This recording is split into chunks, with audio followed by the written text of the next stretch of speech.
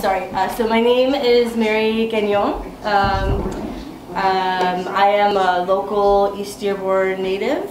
Um, I grew up here, I went to Fordson. Um, I am a, I'm an artist, I'm a painter. I do lots of mural work and um, I was originally a graffiti artist and then kind of in my old age and motherliness, I have transitioned um, into more fine arts and less illegal activity.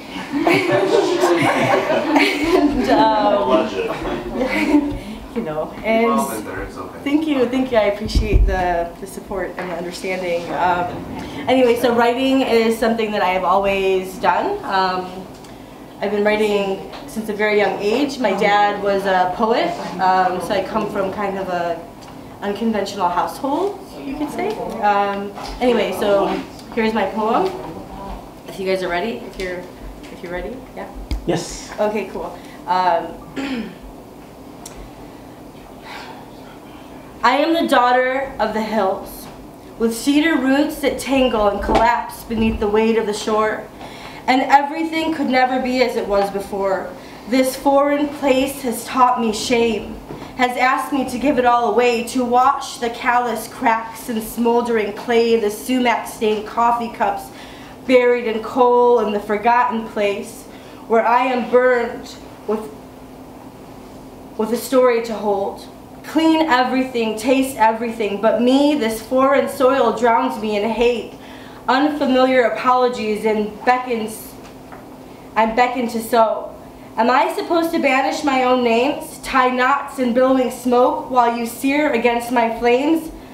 I gotta break from you, break from you. Will you forgive me when my cadence points mirrored sounds of sun-soaked feeling? Who the fuck says there's no rebuke in healing? I was bound to fall in love with the soaping hollows that birthed me. I know I had a bad reputation. Let me and my flesh paint a thousand pictures of all the unapologies I have left before admitting that you don't even fucking know me. You don't know me, and it's not much of a life to be living. And the mother of the mother's mother, the mother's mother's mother, they all adorn me in fabric, stitches that take me all the way, soft, lucid bells that fracture and fray. They ask me to stay, to bury my feet and solace Remember the coolness of the earth, where God herself has written my name.